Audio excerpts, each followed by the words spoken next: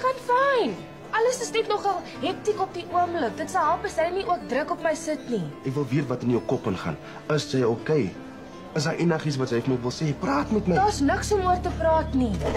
Lexi, Jy bel die oomblik wat hy terug is. Some local kids found the truck. Looks like they were ambushed. Yogo is dead. There's no sign of Steve. Dit beteken niks nie,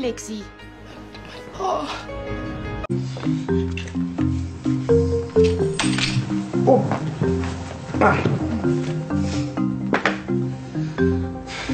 Sorry. Is dit alles wat saamgaan? Ja, ek moet nog net vir die strykplank kry. Ek wil nie 'n strykplank hê nie. Hoe gaan jy jou klere stryk? Ek gaan dit huis toe bring of ek gaan dit nie stryk nie. Lexie, 'n strykplank vat nie baie spasie nie. Bære dit agter jou deur. Ek gaan regtig nie 'n strykplank vat nie. Hierdie goed gaan al klaar nie in my bloedpas nie. Okay, wel dan sal ek dit later bring. Wat's in die koelbak? Is besig om te opereer en jou ma's in 'n vergadering. Okay, great. Dankie. Wie iets om te drink? Nou, die tension maak my dood. Jy het gesê jy het results. Daar's iets wat ek julle moet sê. Maar julle kan nie vir my kwaad wees nie.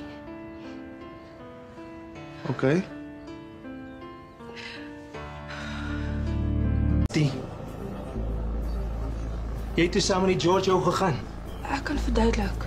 Ek dink nie so nie.